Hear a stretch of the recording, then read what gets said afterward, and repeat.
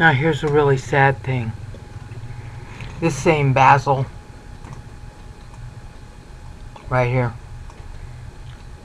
who killed his best friend out of jealousy, who was Michael III, who died right here at the end. This same guy, just like Constantine, just this this kills me. This same guy is credited with starting a golden age for Byzantium. Not exactly the words Bible's using to describe him. After the eclipses of those days. O Helios Scotis desetai kai selene u doze torfegos autis. The sun darkened and the moon won't give any light. That's how the Bible's describing him.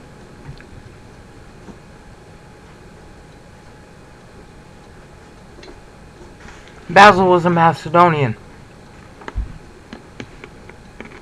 He starts a new dynasty.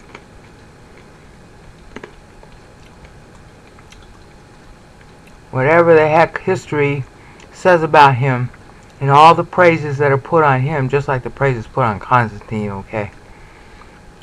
That's not what the Bible thinks. God, because this is his word. That's not a compliment. Okay? So, God is being very satirical here. I hope you get that. If you go to look up Basil, Basil the First, starter of, uh, I forget what, Macedonian dynasty they call it. Oh, it was a golden age under him, and everything came to fruition, and all the Byzantine Empire entered its glory, and all its art, and all its flourishing, and yada yada yada. Doesn't last. Nothing ever does. But it's satire. You see the satire? The very thing that humans say about it. God saying, uh, no. Darkening of the sun, meaning darkening no Bible doctrine. The moon won't give its light, meaning it's the darkest period. They're not being enlightened. So this is running from 867 really 868 here to 890 889 and of course there are no keywords there's no center it's part of the total nexus because it's between verse 23 and verse 26 but not so you can go read up on Basil on your own. The Bible is saying not good. And you'll be surprised at just how positive the reports are about this guy. And keep going, and the stars were, will be actually, falling from heaven now that's a euphemism, but in a way it's really not because, excuse me, stars are nicknames for angels because their bodies remain light. When it says stars fall from the heavens, okay, that language is actually used for Satan in Isaiah 14 and Ezekiel 28, and of course it's used for Satan again in Revelation 9 and 12. Yeah, 12. Angels falling from heaven. We all know that's not good. Alright, and we're past Basil at this point, but it's a, it's a dynasty, okay? I don't want to spend much time on it because You can go read it yourself now that I've given you so much about the Nexus period. Because I got to go to the, this is the second half of the Nexus. The whole Nexus period goes all the way to verse 26. And I want to skip some of it. This is the part I'm skipping. You can see why.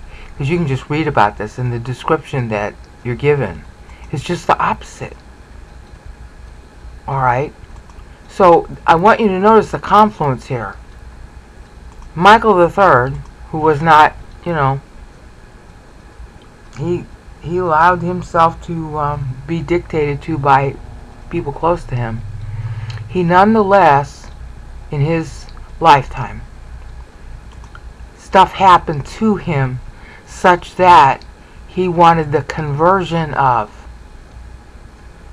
and it just so happened that there was a convergence of Louis the German and Moravia, which resulted in the convergence of, from this point, 860, some pagan Russians stealing Bibles and taking them back with them just in time for the conversion of the Moravians via a Bible written in their own language and therefore the conversion of the Bulgars, who are related, and the conversion of the Russians, who are related. Okay? There's, there's a lot of argument about, you know, what kind of peoples are these? Were the people that came from the north of the same people? Because they tend to call them Slavs, but it isn't really just that. It's really hard to explain. It's some, it may be a sort of a mixture. Alright, because this is long before the Mongol raids. Alright. You can call people that are a mix of the Mongol raids and the people who were there at the time, you can call them Slavs. Because there's just there's certain Asian characteristics in common, but this is before that. That was the good of Michael's reign, and and that was pretty much. I mean, he tried. He didn't have much time. You know, he only started in 56. Alright? Because he was only out from his mother's thumb in 56, but he got out the wrong way and he dies the wrong way. Meanwhile, God makes good on the bad. In a very humorous way. Okay? But, and this is why it's not 7th here, it wasn't good for Byzantium. It should have been, it could have been, but it wasn't. Because of all the junk that was going on there. In other words, you know, they're alive when all these conversions are going on amongst the Bulgars and the Moravians and the Russians. They're seeing it happen. So why didn't they get serious about God as a result of seeing it? I mean, you're talking about, you know, thousands upon thousands of people converting just because they find out about this book and and you you don't it doesn't dawn on you that ooh maybe this is miraculous because so many people are doing it? And so maybe we should get serious about God. Oh no they're too busy fighting with each other over who's top dog. So it doesn't seven for them. And instead what happens? Oh everything goes dark.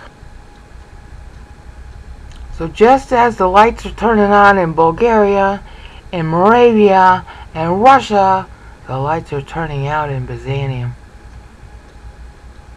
All due to this guy and his progeny.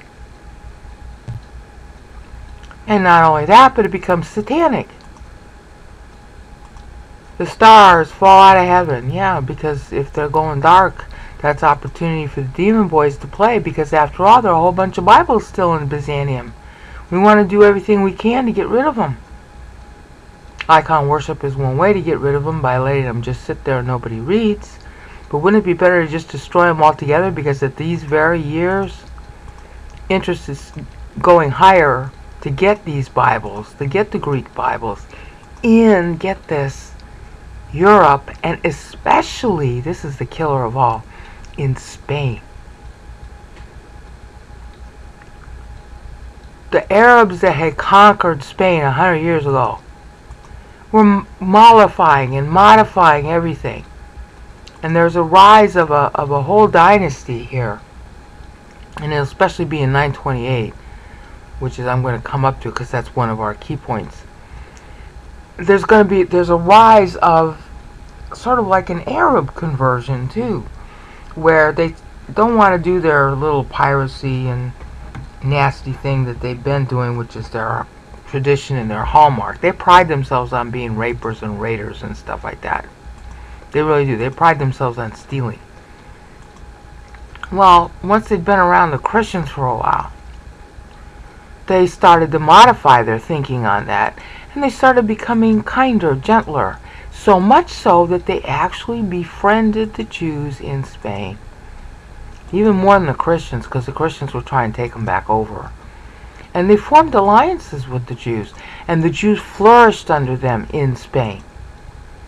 And there, that a lot of our manuscripts and the teaching and all this good stuff starts coming out from Spain.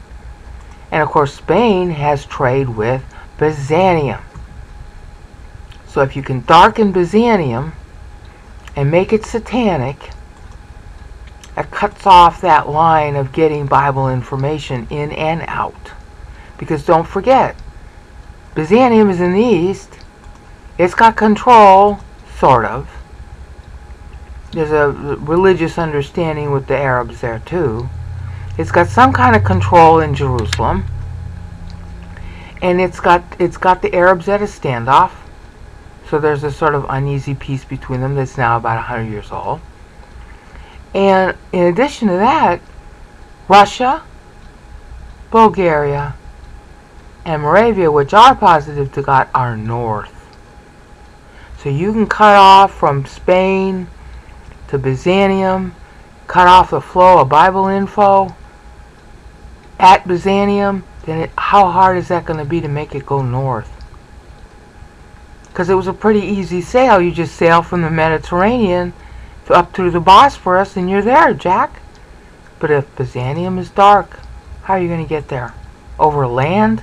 That's a lot harder. And the two principal ways that people got Bible information was through Paris and through Milan, in addition to through Spain the people who did it in Spain were doing it because people were willing to pay good money for the Hebrew manuscripts.